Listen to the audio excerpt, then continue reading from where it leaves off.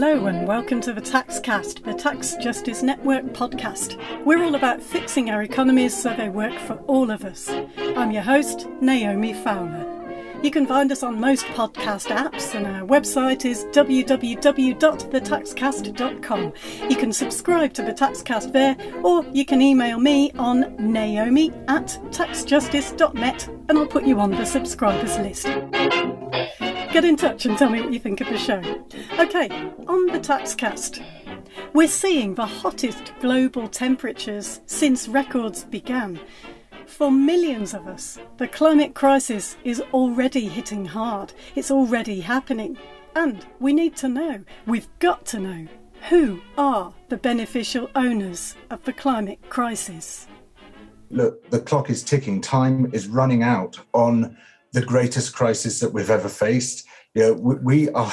It's almost unimaginable what we're facing now, and it, it's very hard to talk about it without crying because it's the end of everything. I mean, it's the end of our hopes, our dreams, our ambitions, our loves, our hates, everything we've dreamt of for our children, the good world that we want for them. That could go if if global systems, Earth systems, reach a tipping point the planet will flip from a habitable state to an uninhabitable state. And I have two children, and you know, every day I think, did I do the right thing?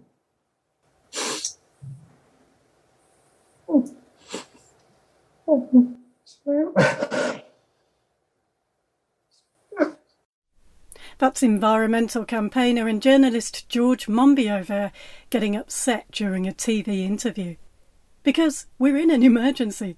And if we don't know enough about who literally owns the climate crisis, it makes it harder for us to take the actions we urgently need to, not only to mitigate the damage, but also to address the inequalities that this crisis reveals. We need to do that too. Lots of attention's going on things that can distract from the bigger picture. Almost all our attention gets focused on consumption emissions, what we buy and use as individuals. But there are also investment emissions, greenhouse gas emissions that only happen because people and companies are investing in them. Here's Franziska Mager of the Tax Justice Network. I think most climate policies or the ones that most people will have heard of are really targeted at consumption habits. So, making you change the car you drive, your ha- flying habits, to make you switch energy source, and so on. And that's really important, especially in rich countries that are massively exceeding their carbon budgets. Everyone needs to make a contribution. But the emissions that are attributable to investments in polluting companies and sectors are estimated to be so, so, so much higher in volume than those consumption emissions for the majority of people. And a good way to think about it is what's been happening to universities. So they, among others, are under pressure to make their buildings and their infrastructure more sustainable. So, for example, through things like solar panels, banning single use plastic, and so on. But they're also under increasing pressure to divest from fossil fuels. And most of them sit on quite a significant amount of money. And there's pressure to put that money away from fossil fuels. So the solar panels, in terms of scale, you know, will only get you so far if these universities still have portfolios or trust funds or endowment funds with a high carbon content that are channeling money into future fossil fuel extraction. And companies are made of people the owners, the investors, the shareholders, the people who have stakes in them. Behind every company, there is a certain amount of people who own it, which will often be very difficult to track down. But you know, the overwhelming majority of people in the world don't have enough wealth to have investments. So we're really talking about a pretty small minority of people who invest. And this blurring between these two categories of companies versus individuals, in my opinion, is intentional. Because if you tackle the place where they overlap, which is the very, very top of the economic distributions, for example, by things like ownership transparency laws, that would really hurt. And it would hurt the people who have the highest financial stakes in polluting industries the most. Of course, it's perfectly legal to invest in activities that are causing the climate crisis. It's socially acceptable, even. This minority Franziska's talking about, the world's richest people, are already emitting huge and unsustainable amounts of carbon compared to the rest of us. But unlike ordinary people, 50 to 70% of their emissions are resulting from their investments. That's according to Oxfam. But it isn't that clear who these investors are, as Dario Kenner discovered. He's visiting research fellow at the University of Sussex and author of the book carbon inequality. He tried to identify the investors behind some of the largest oil companies. So, I was writing a book about carbon inequality, about the richest people, and I was mainly at the start looking at their consumption, so use of private jets and yachts and luxury cars and that kind of thing. But as I was writing that book, I realized that there was a massive part that I needed to look at, which was the investment side, because it was likely to be a much bigger portion of pollution. And it is, if you if you think about it in terms of uh, you know one one rich person driving one luxury car or taking private jet flights is, is going to be a certain amount, but investments in massively polluting companies, whether that's oil and gas or agribusiness or whatever it is, is going to be bigger. And that's why Dario got to work on a polluter elite database. I was trying to visualize the pollution of the richest to show it was more than the rest of us and to highlight that issue and try and encourage governments to pass policies and laws in that area. It was a difficult task to create this database and, and how to even get started in my book, I was had to focus in the end on two countries, on, on the United States and the United Kingdom. But as we know, the rich are very global, and that's partly, you know, very obvious in terms of how they get around. So actually, picking two countries was a bit arbitrary in some ways because the rich and the super rich, they live in multiple countries. What Dario wanted to do was to quantify their investment emissions. So that's CO2 equivalent connected to person's shareholdings in, in different companies or other types of wealth. I could I couldn't do it for you know for every rich person in the world or even for the billionaires. It's basically very very difficult to find out that kind of information. Even the, the rich lists that are compiled by Bloomberg and, and others, they have their own in-house teams to, to do that work and, and to track and to make calculations. I didn't have those resources or those kind of information about what was happening, which you can't find online. So I had to start with companies. So I thought, well, what are the, the most polluting companies in the world? So Dario used as his starting point something called the Carbon Majors Database, which gathered data on 100 fossil fuel producers and nearly 1 trillion tonnes of greenhouse gas emissions. So I started with that, uh, the 100 most polluting companies, uh, mostly the oil, gas, coal, cement, things like that. And so I was using annual reports. So, for example, Shell's annual report, there is some information disclosed in that report that has to be disclosed. Uh, that will be for the uh, executive team, so the CEO and, and those other senior members of staff, and then for the directors. And then the other ones that come up is the institutional investors, so like BlackRock and, and Vanguard. And so any investor that holds more than 5% shareholding has to basically is listed in the annual report. So that's why I could see that they were that they were shareholders, and then for all of those, so for those individuals, the directors and executive team, and then for institutions like BlackRock, and then had to use a methodology which was had been used to estimate portfolio emissions. I applied that to either the individual or say to BlackRock, and basically calculated based on their shareholding their percentage of say Shell's emissions for 2016, for example. But despite his efforts, Dario could only account for 12.8% of the shares owned. Most of them belonged to two massive investment funds, BlackRock and Vanguard. So we don't know who the individuals are who ultimately hold the remaining 88% of shares. well, yes, it's just a massive black hole. Who who knows? Um, so it's very unsatisfying only being able to present a short list of names uh, and then say BlackRock as well, because yeah, who are the other investors? I mean, like who knows, basically.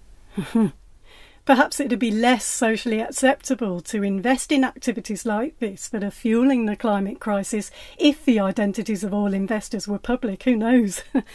and, of course, it's hard to trace those investing in and profiting from illegal climate crisis activities too.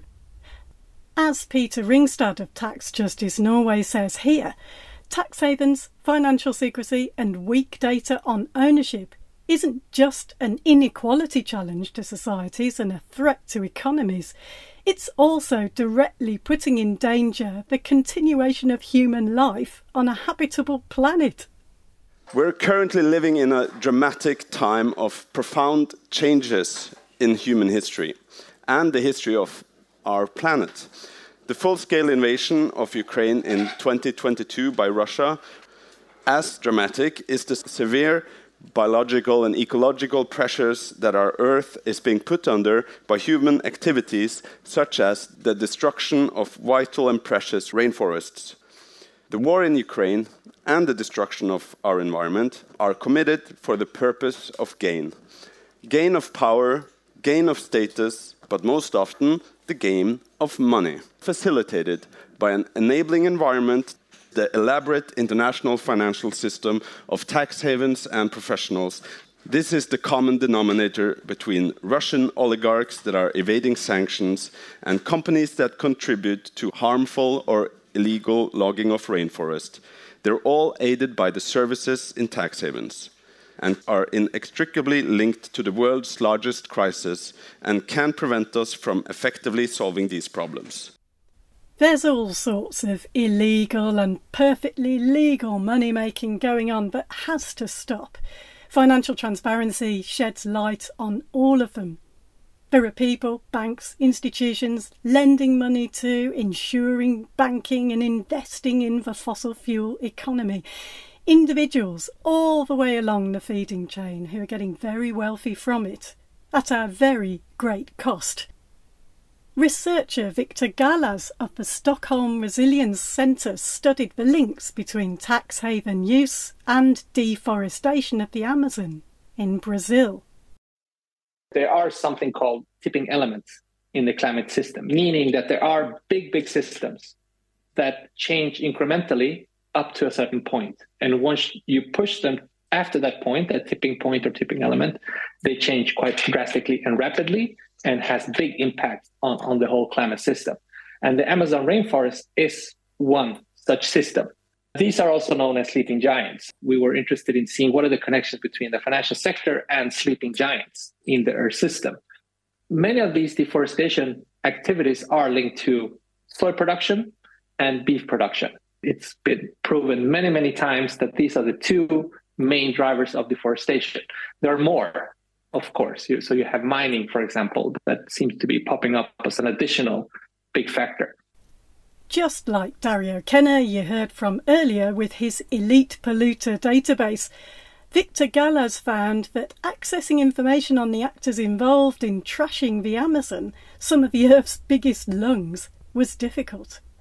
If you want to conduct these economic activities in the Amazon, you need funding right? I mean, uh, funding is what makes uh, all these activities operate. You need to to pay out salaries to people. You need to buy and, and build infrastructure, etc. So you need you need funding for it, and it has been quite challenging to get to those numbers. To be honest, I think there is lack of transparency in the financial sector in general, just to see, for example, the, the sizes of loan, private loans to some companies.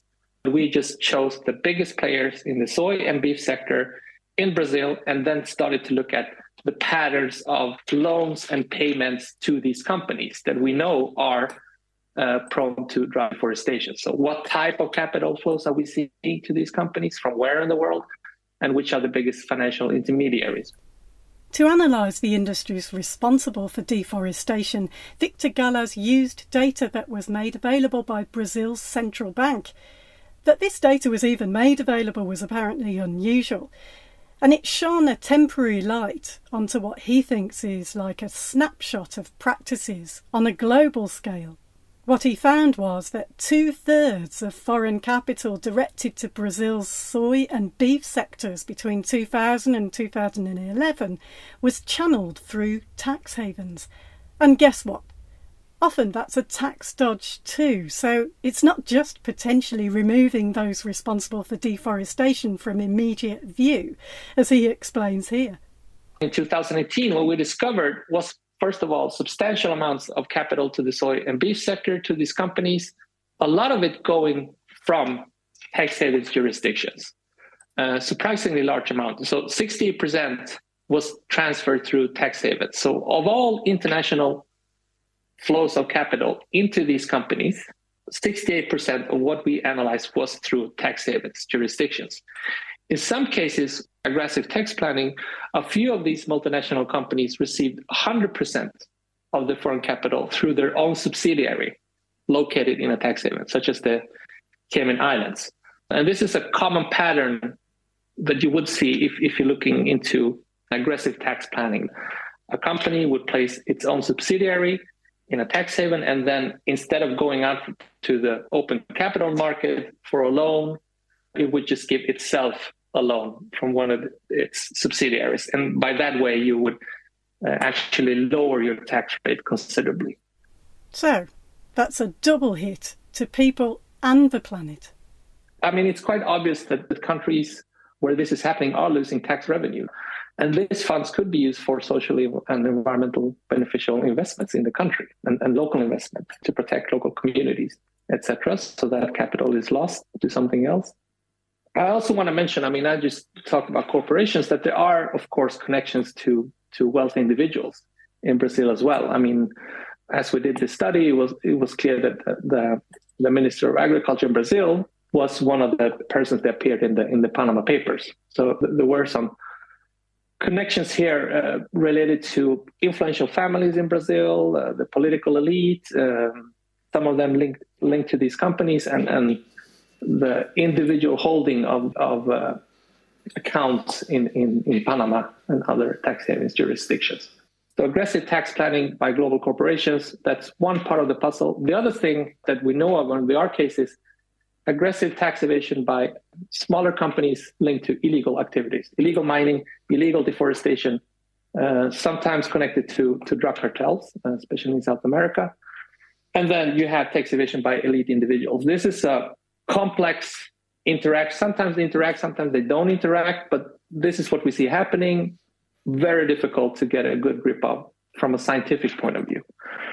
Uh, and this is a vicious cycle. I think it is contributing to a lot of problems that we need to address. So, again, financial secrecy, tax haven use, and lack of proper ownership registers are all blocking the way here. When it comes to tax, I've said many times before on the Taxcast, there are what we call five R's of tax. Tax isn't just about the most commonly understood R, raising revenue.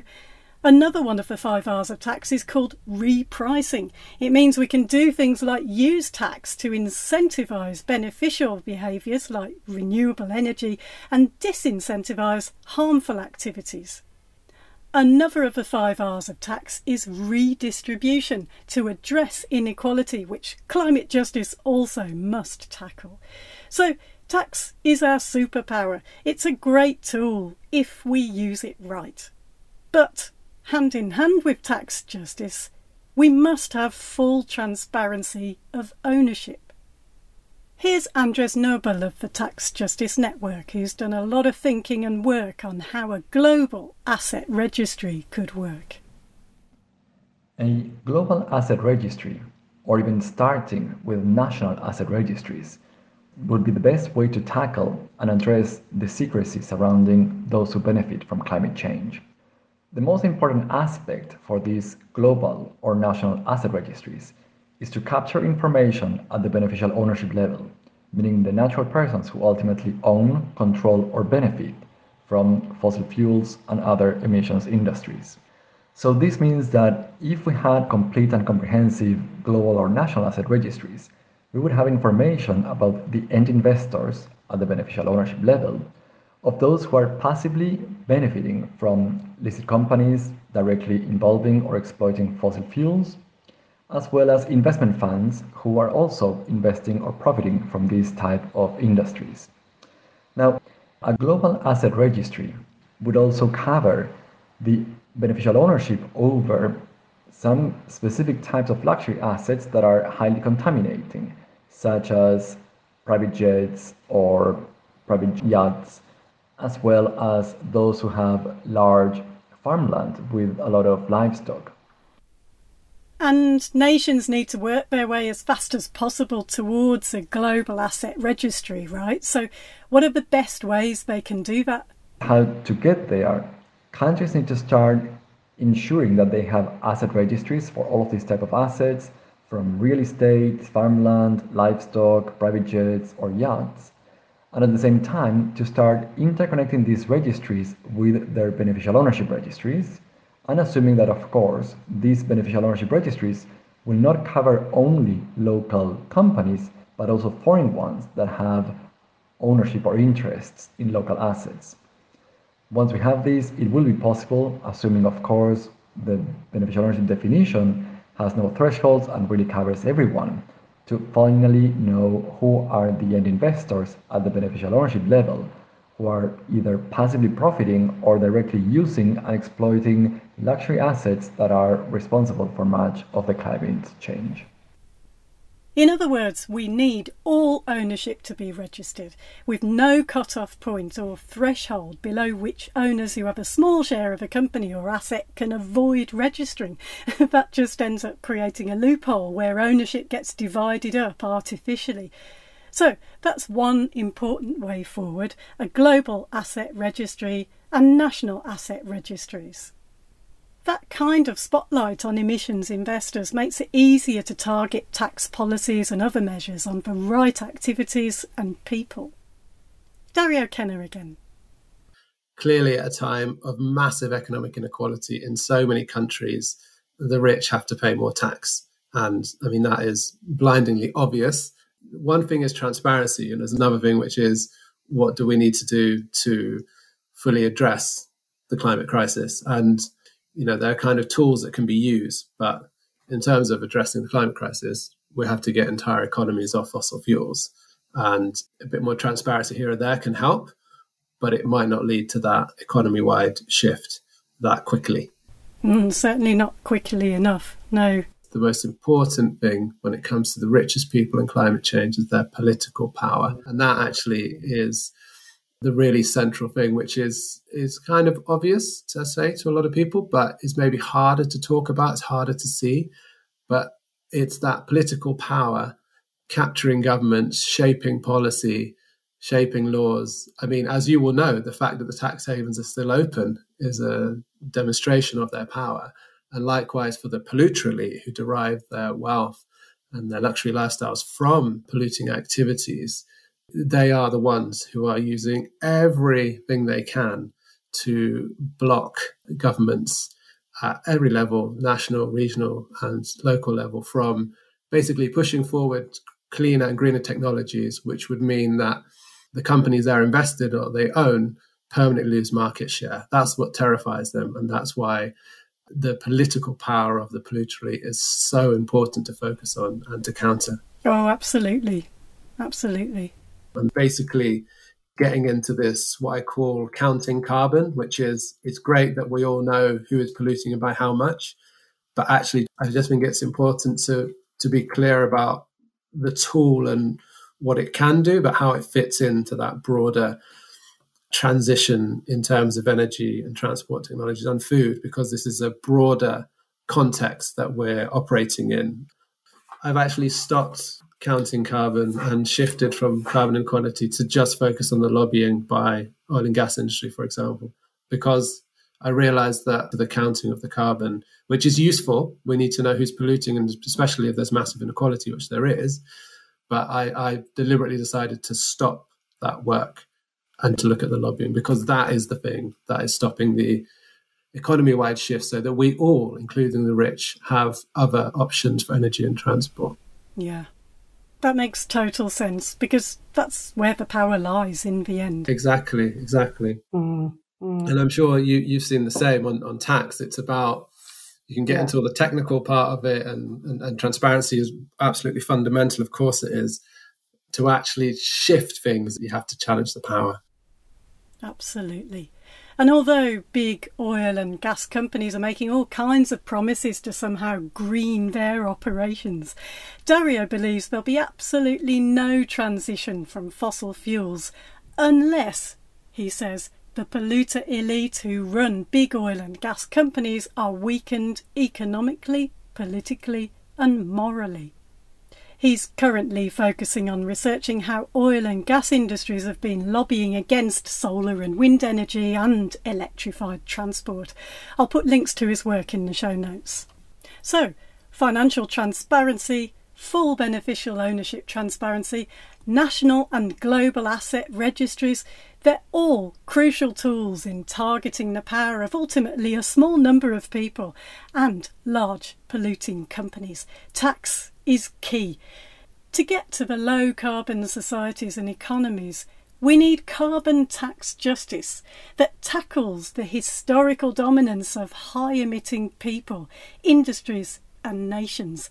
And greenhouse gas emissions need to be reduced while ticking three essential boxes. It's got to be high speed, got to be in large quantities, and it's got to reduce inequality.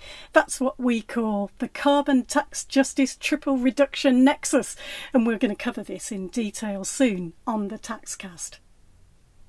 Meanwhile, the world's wealthiest nations must wake up fast to their responsibilities for the global climate crisis. Here's environmental campaigner George Monbiot again, speaking on ITV in the UK the great majority of the world's people are not having a voice in this. You know, we're doing it to them. We, we, with our huge carbon emissions, the amount of fossil fuel we're burning, we're destroying the lives of people on the other side of the world. You know, people in Bangladesh, people in sub-Saharan Africa, people in Central America, their lives are being absolutely trashed by the way we're just going about our daily lives, driving on the road, not insulating our homes, producing all these greenhouse gas emissions. We are literally destroying lives at, at a phenomenal rate right now. And those people are not represented in our decisions. They're not represented in our political system. Here's Franziska Mager again of the Tax Justice Network. Most, if not all, of the emissions targets and specific policies we do have now treat the climate crisis as something of this moment a good example is something you've maybe heard of the nationally determined contributions or NDCs. They're sort of non binding national plans highlighting the climate change mitigation strategies that countries commit to, including their targets for greenhouse gas emissions. A lot of these strategies look forward and not at all backwards. A lot of these strategies draw from broadly the now what needs to change to stay within, well, hopefully 1.5 degrees, if not two degrees. So there isn't really a look backwards. And we've only arrived at this point in this, you know, extreme version of climate breakdown because of the developments and the industrial activities that have unfolded over the last decades, if not centuries. So if you rethink the now as something that's a result of a cumulative phenomenon. The picture and the responsibilities change completely. Not everyone is responsible to the same degree. In fact, most people, especially in the global south, arguably have absolutely zero responsibility. And this is the sort of fork in the path we're standing in front of right now. And this perception is changing, but it is changing too slowly for what needs to happen. Not only are the world's wealthiest nations the main culprits for the climate crisis, they got rich from colonial practices that have impoverished colonised regions to this day. That's hampering the efforts of poorer nations to transition to net zero and tackle inequality. They continue to be drained by extractive practices through global capital markets and What began with the exploiting of people and natural resources of colonised regions then shifted to wealth extraction through financial secrecy, tax haven networks, and the twisting of global corporate taxing rights. That's why a crucial aspect of reparational justice is for global South nations to claim their sovereign right to tax global multinationals fairly. And that's happening now in efforts to move decision making on international tax rules to the United Nations, led by African nations. Countries in the global south are especially challenged when it comes to tackling the climate crisis because of their unsustainable mountains of debt. This is Kenyan President William Ruto speaking at the recent Summit for a New Global Financing Pact. In Kenya, we are paying $5 billion every year to service our debts. If we have to deal with the climate financing in the context of what we agreed in 2015 in the consensus we built out of the Paris Agreement, where we get emissions down by 45% by 2030 and net zero by 2050, we need $9.2 trillion every year for us to get to net zero by 2050. We have a gap of $3.5 trillion. How do we raise $3.5 trillion to be able to close that gap? If we got an opportunity not to pay the $5 billion and it is made available to us, we would have money at scale. And if it was done for 10 years and we are given 20 years grace period, we would be sorted. And everybody will be happy. We will still pay our debt. It has just been postponed. So the shareholders have no problem. And we have immediate money to deal with our situation, so we are also not doing badly. So we can have a win win. Hopefully, before we leave here, we have that agreement. I don't think it is unfair for us to ask Indeed, it's not. Many would push further from just delaying repayments to cancellation, if for no other reason than putting net zero goals first in the interests of human survival on Earth. I mean, global food production is now at a tipping point, for goodness sake. Franziska Mager again.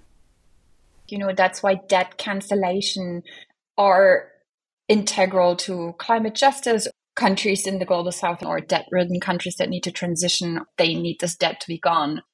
And I think it's really useful to view the extreme inequality in the economic distribution and the emissions that are linked to that distribution as one space for policy, not two separate spaces. There's this term in environmental law of common but differentiated responsibilities. And a lot of the climate crisis narrative very justifiably emphasizes the common part of that responsibility, but not everyone is responsible to the same degree. So viewing inequality and emissions together opens specific policy options and then it narrows them down to what is the most urgent, at least in the short term. So, tackling inequality and carbon emissions go hand in hand. Back to Kenya's President Ruto and how on earth his nation can possibly both service its debt and transition to net zero. The Kenyan government raised taxes recently on fuel and housing, they say to cope with rising debt payments. Desperate protests broke out across the country as a result, and police fired on protesters, killing two people. Truly terrible days like that are connected to the slowness of wealthier nations to act on debt and climate crisis. We are not making progress ever since Paris in 2015 because we had a global consensus on a global problem called climate change, but we tried to sort it out using national institutions that are hostage to national interest, or we tried to use shareholder institutions that have shareholders who will make the decision finally. So we must get a new financial architecture around climate financing. so that we can sit at the table, so that there are no shareholders. We are not going in the right direction, we are going backwards. So it is urgent that we all agree on how to go forward.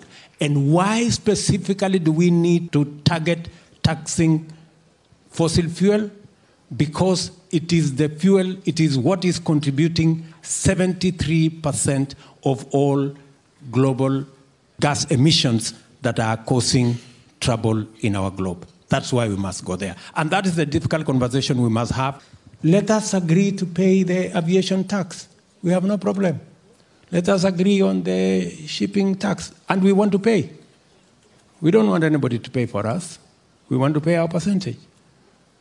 It is only when we raise global finances that have no national interest for any particular country or shareholder interest of any person.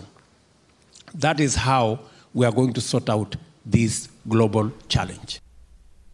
Franziska Mager again. I really believe that there is big potential for political parties when it comes to legislation and regulation around financial transparency. They should take this topic and really go about mainstreaming it massively and make it part of their platforms. It's a sort of cousin to the anti corruption rhetoric, which is obviously closely related. The regulation that is needed and that we're asking for only pertains to a very small group of people on the whole, which makes it a very attractive policy option in previous times of crisis, the world has managed to come together and take collective action. After the Second World War, the mega reconstruction that nations did involved taxing the very richest highly. The world's nations have done things in very new and different ways when the gravity of the situations required it. We can do it again. We have to. President Ruto again. Let me dare say the following. After the Second World War, 44 countries, 740, I think 44 delegates sat in a small city called Bretton Woods. The Bretton Woods institutions were agreed in three weeks. The UN that we today celebrate was a conversation by 50 countries in two months. Because it was necessary, because there were leaders that were that wanted and had the capacity to make decisions. Because there was the whole of Europe had been destroyed. And so it was urgent and it was important for, it, for a decision to be made. Why is it difficult for us? Are we saying the crisis that we are going through, including from Pakistan, is not serious enough for us to agree on a global financing mechanism that sorts out climate change as a problem that is affecting all of us? Are we saying ever since 1945 we have become stupid? Is that what we are saying? Or we have become less human? that we have no more feelings about what's going on? Are we saying that we are incapable of making the decisions that are required of us as leaders?